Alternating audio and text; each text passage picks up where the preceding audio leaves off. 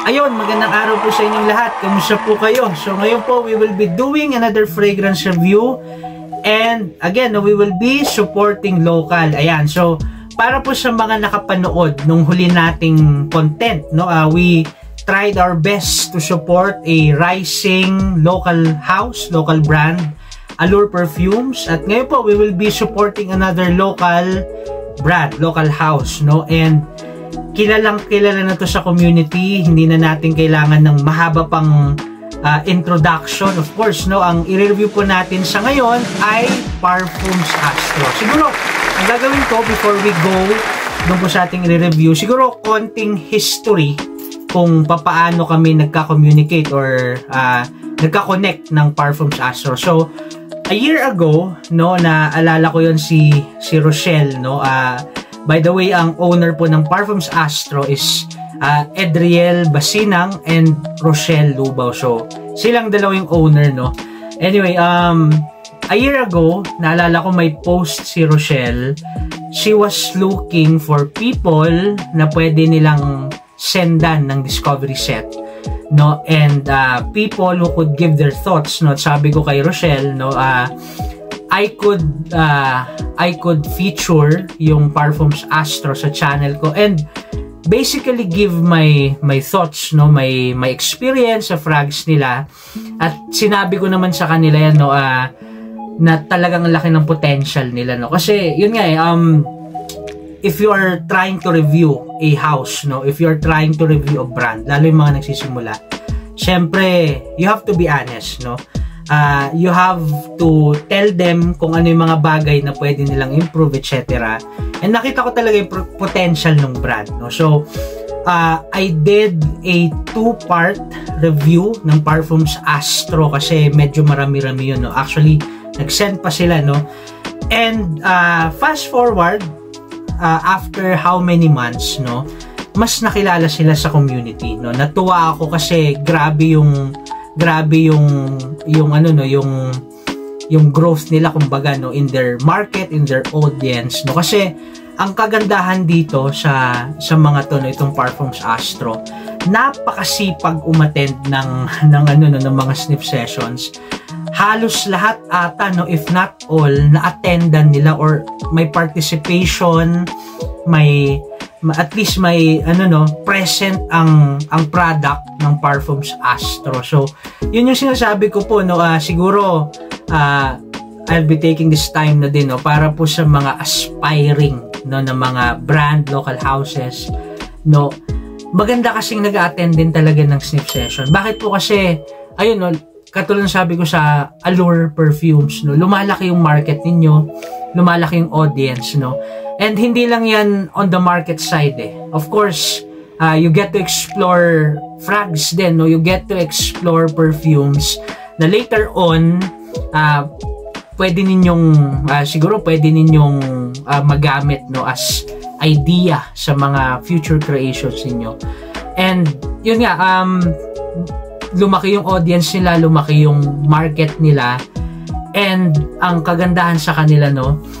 aside from the inspired perfumes that they have no sa market nila no they tried exploring uh, their own blends or their own creation and I believe ang isa sa mga unang nagpakilala no sa own blends nila or own creation nila was was makiling no uh, hindi ko pa na sniff personally ang makiling pero it is compared no sa mga sa mga kakilala ko sa game, it is being compared dito sa portrayal woman ng Amwatch. Now, that's really interesting. Ang una kong naamoy no, doon sa own blends nila ay yung Quiapo Streets. No? Yung Quiapo Streets, naamoy ko siya sa isang sniff session ng Baguio. Siguro parang parang 3 months ago, no? And natuwa ako na sabi ko, wow, okay tong okay yung quality, no? Uh, you could feel the quality, no, yung scent profile, it is really good, no. So, yun, um, anyway, uh, doon na nagpatuloy, no, marami silang nilabas, no, uh, may mga ilang frags silang nilabas. After that, and siguro yung naglagay sa kanila, sa greater recognition sa frag community ay yung dalawa nating i-review sa araw na ito. So yun no, ano ba i-review natin? Sa title na rin, of course, Sigarilyo Carnival, no, and ito no, Yoshi Break, Pinoy na Pinoy no. Pero para sa akin guys, no, um, of course you would get the the tobacco kasi ano eh, that's a tobacco base, no. Uh, I believe ito yung yung parang parang single note na na exploration nila no? Uh, bigyan ko example dito. Um merong I'm sorry uh, adjust lang natin no? Merong merong house no? Uh, sa base I believe sa sa Paris no? This is a niche house no na they explore the single note no creation no this is Vani Havan ng Les Indemodab, no? I-review din natin to in the future.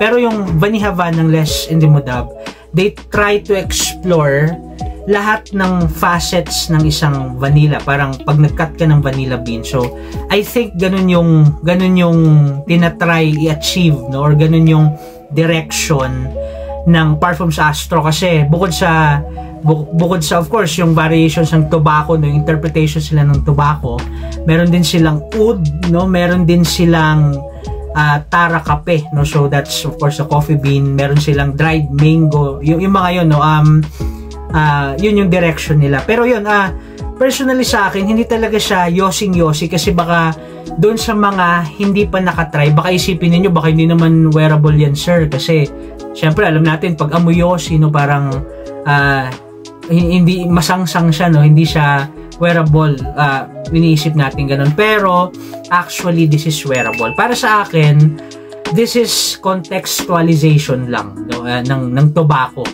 no? Uh, yung tobacco yung interpretation nila ng tobacco note in our everyday and local again context no? Contextualization. So don't worry guys this is definitely wearable itong Sigarilyo Carnival and Yoshi Break. So anyway, punta na tayo sa scent profile, punta na tayo sa review natin sa dalawang ito. So number one is called uh, Sigarilyo Carnival. So anyway, before we proceed sa review natin, pakita ko lang yung presentation. No? So uh, para sa akin, I really appreciate the minimalist approach ng Parfums Astro. Kasi this is uh, sticker no? May may drawing ng ng ano no? Ferris wheel. No of course uh, the concentration 50 ml the name of the per perfume the name of the house no? And uh, pakita ko lang sa inyo guys. This is uh, spray ko lang. No uh, yun no? Uh, yun no? Napaka-pino no yung buga pressurized yung kanyang atomizer amazing atomizer, no? Amazing sprayer. So anyway, napaka-simple. Tapos ito yung box niya, no? Uh, Yoshi, uh, ito Yoshi Break to, no? And uh, basic, basic details, parang semi-rubberized yung kanyang box. So anyway, parang minimalist siya, pero for me may dating kasi para siyang para siyang somewhat vintage style no lalo sa kanyang lalo sa kanyang sticker so anyway uh, that's just me So I I appreciate the the, the presentation. So yun, Sigarilyo Carnival. The listed notes are rosewood, tobacco, cream, vanilla, uh, white agarwood or oud, no? Agarwood oud and C notes, no? Basically, you would smell tobacco. Pero creamy siya na tobacco eh. May caramel-like and woody background. Yung yung agarwood, yung wood, no, don't worry, hindi siya hindi siya persistent, no, hindi siya forward. Para sa akin, it's still tobacco, pero ano eh, uh, para siyang paano ba? May caramel siya, creamy siya na tobacco. And may listed siya na C notes para sa akin, no? Kasi if you look at the notes, it's it's really oriental. It's it's really warm, spicy, it's woody pero I think the C notes no uh, serves as serving as its background still gives the freshness no kasi para sa akin yung freshness niya no parang uh, hindi siya hindi siya totally aquatic para siyang borderline aquatic and floral. So ganun yung pagka fresh niya but still it's it's tobacco. Kasi yun nga um oriental pero may freshness uh, basically ganon and in the less technical description no ng ng sigarilyo carnival no imagine para siyang para siyang yosi para siyang sweet na yosi alam niyo ba yung yung black bat no pa yung yung makapanahunan ko uh, ano yun uso yun uh, para siyang ganon habang mumunguya ka ng ng candy. Alam nyo ba yung butter kiss? Uh, papakita natin somewhere dito yung picture. Yung butter kiss kasi uh, uh, round siya no na of course candy and um, caramel siya, caramel flavor. Uh, napaka-pleasant nun. Uh, gusto ko yung dati na bago ko kainin, inaamoy ko. So, para siyang ganun, para siyang nagyoyosi, tapos ngumunguya ng ng butter kiss. Tapos nasa seaside ka on a windy sunset. Parang ganoon no? Parang parang ganoon yung vibe sa akin ng ng sigarilyo carnival. Para kang nasa province parang ganoon no? And ayun um basically this is sweet creamy tobacco pero may freshness pa din that again borders aquatic and floral no uh, so para sa akin guys, this is the more versatile one as compared sa Yossi Break. If you're looking for a versatile take ng tobacco, uh, you may you may want to consider Sigarillo Carnival and performance above average no? Lalo sa first uh, one and a half hours no? Uh, ramdam mo talaga yung presence niya no? May may projection talaga siya longevity 6 to 7 hours. Pero the whole 6 to 7 hours na yon meron kang scent bubble. So this is great sigarilyo carnival. Ayon so this is the first one. And the second one of course is ayan Yossi Break okay napakaangas no nung Yossi Break no napakaangas nung nung sticker no so I really like the juice color, no? It is reminiscent sa akin ng frags like uh, Jazz Club ng Maison Margiela or yung By the Fireplace nila or itong uh, juice color ng Cafe Chuberosa ng Atelier Colon. So anyway, um, ayun, the listed notes of Yossi Break are tobacco, sweet wood, amber, and green notes. Ayun. So, para sa akin, ano ba experience ko sa scent profile niya? This starts off fresh. Pero yung pagka-fresh niya, hindi siya blue. Kasi blue aquatic eh. Yung fresh na na notes niya ay green. No? Kasi sabi lang dito, green notes. So, pa, para sa akin, yung naamoy kong fresh na green na yon para siyang para siyang rolled na tobacco leaf tapos may bag ng green tea. Parang ganun, no? Uh, para siyang para siyang green tea plus rolyo ng tobacco, no? Na unlike uh, Sigarillo Carnival, this one may sweetness siya, pero this is slightly smoky. This is dry, no? Reminiscent of pipe tobacco, no? Yung pipe tobacco kasi, no, uh, that's a more common take lalo sa designer frags no that that kind of tobacco no para siyang ano eh para siyang tobacco pero meron siyang kakao parang ganun dry na kakao parang unsweetened kakao parang natural yung sweetness ng kakao no so parang tobacco plus kakao no and I think yung yung sweet wood and amber here supports lalo yung base. Kasi after some time, experience ko dito, yung parang freshness ng green notes na yun, no? Uh, kung ano man yung green notes na they have here, no? Again, no, ang teorya ko, baka green tea related sa tea, no? Para sa akin, as it blends doon sa pipe tobacco, ah, na unti-unting nawawala yung freshness niya. Para sa akin, ganun yung experience ko And, ayun no, uh, basically, nag, nag-start siyang uh, fresh, no, na green. Pero, unti-unti siyang nagiging pipe tobacco. Parang ganun, no? Parang, parang ganun yung experience ko. To give us an idea, the dry down lalo na siguro uh, an hour no or almost an hour uh, sa frag na ito after you spray it no? This is reminiscent of some frags like halimbawa yung pinakita ko kanina no?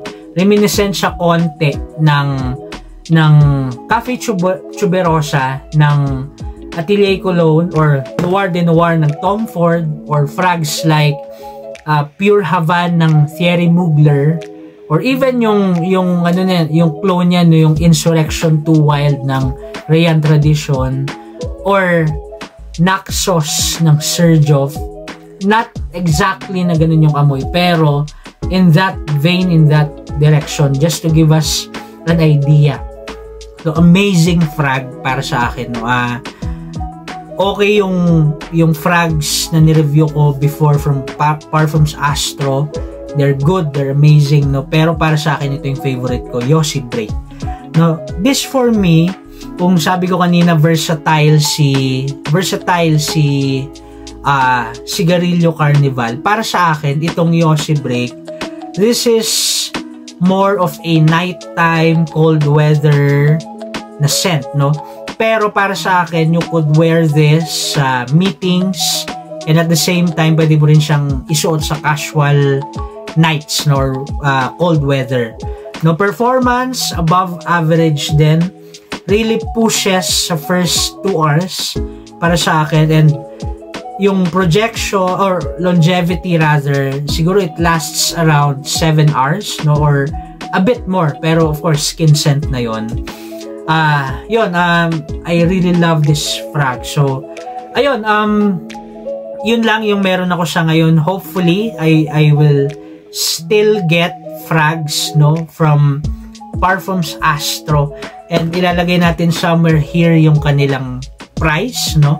And uh, we will or I will put yung kanilang link sa description box para you could check out their selection. Lalo to guys itong Yossi Break no? And even Sigarillo Carnival ang bilis ma-sold out niyan. Ganun sila kakilala. So so please uh, pag pag ano pag interested kayo I believe may discovery set sila no pero if you really want to cop Yoshi Break or Cigarillo Carnival, bilisan nyo guys kasi ang bilis niya maubos. So, anyway, final words, no? Para sa Parfums Astro, thank you so much, no? Um, of course, uh, ramdam na ramdam ko yung support ninyo sa akin din, no? In many ways, no? Hindi lang about our connection regarding Parfums Astro, pero sa maraming aspect, maraming salamat siguro gusto ko lang sabihin sa inyo mga kapatid, tuloy nyo lang, no? Uh, uh, sabi ko naman sa inyo yan eh, nung una pa lang napakalaki ng potential ninyo and alam kong mas marami pa kayong mararating sa frag game, sa frag community sa pagbebenta ninyo no?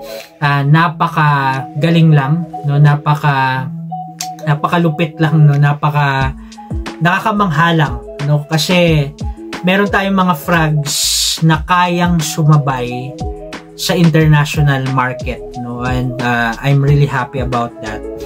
And ayun um pangalawang bagay siguro uh, may mga teaser na ang ang the, the board grooming ko no and of course uh, may mga post si Edriel ng isang yung yung co-owner no ng ng Parfums Astro may collab sila no so that's really exciting. Something na personally I am looking forward.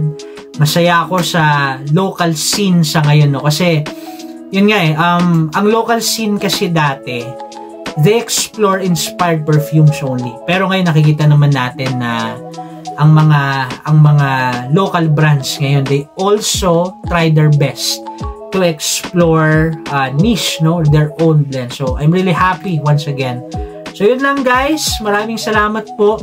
If you find my content helpful, interesting, please do consider liking, sharing, and subscribing. Ayun, maraming salamat po at ingat po kayo.